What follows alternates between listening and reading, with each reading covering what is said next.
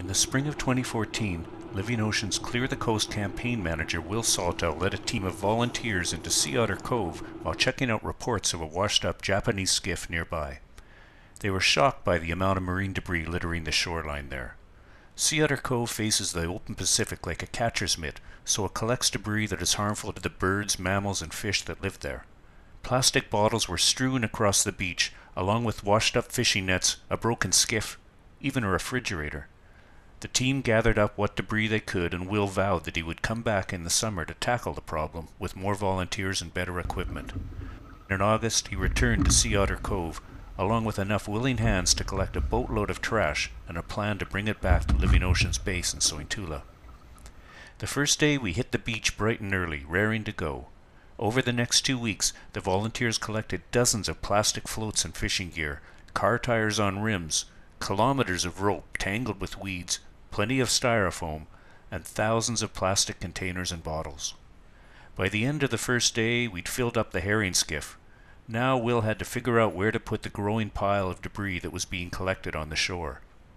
Will came up with a plan to build a raft using the materials at hand and load it with all the debris so it could be towed out to the landing craft. The volunteer crew went to work lashing together drift logs with rope and netting that had washed up on the beach. We hiked to nearby beaches, filled up collector bags, and transported the garbage to our raft by helicopter. The plan is that Catherine's going to fly over the hump here to uh, the next bay over to Lowry Bay and pick up uh, the stashes of bags of collected marine debris that we've got over there and drop them just by our raft so that we can then load them up and have them ready for the barge when it comes in.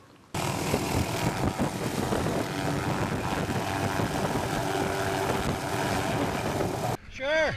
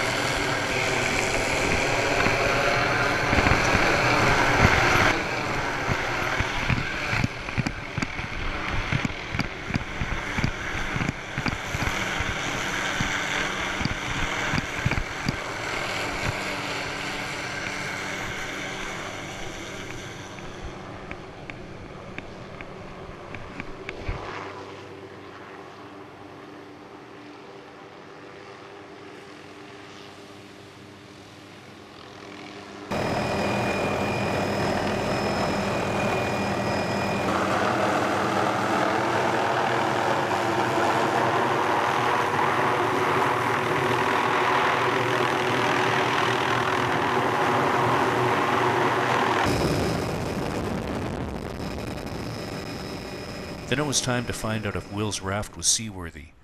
We towed it out into the cove. It floated, so we tied it to a mooring buoy and loaded the debris into a landing craft.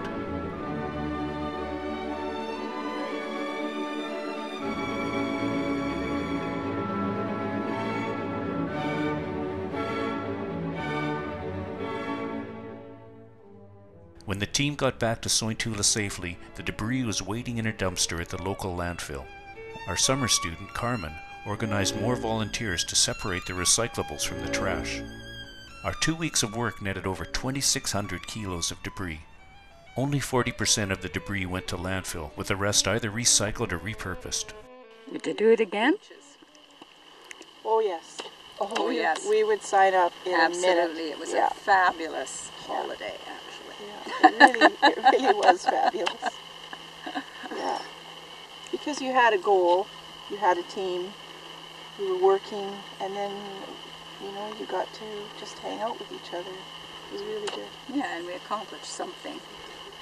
We felt we did. We had, uh, you know, over 5,000 pounds of garbage that we collected, and that was in seven days. So we, you know, that's almost a thousand pounds a day. At Living Oceans, we're working to protect the ocean from things like marine debris by coordinating volunteers who want to pitch in and help out. But it's expensive to get them to remote locations and safely back again. That's where your donations really help keep us going. Ultimately, though, cleaning up is not the solution. Even when we were at Sea Otter Cove, I watched more and more plastic waste washing ashore with every rising tide, and I couldn't help wondering how soon we would have to return and do it all over again. Our society really needs to change its habits. We consume more plastic every year and more of it's ending up in the ocean. And one good way to start would be by going back to reusable drink containers and reusable bags.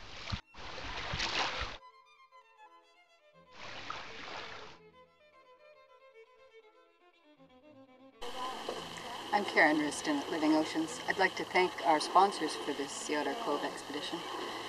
First off, the government and the people of Japan who very kindly provided funds to assist with the cleanup of tsunami-related debris, much of which we found on the beach at Sea Cove.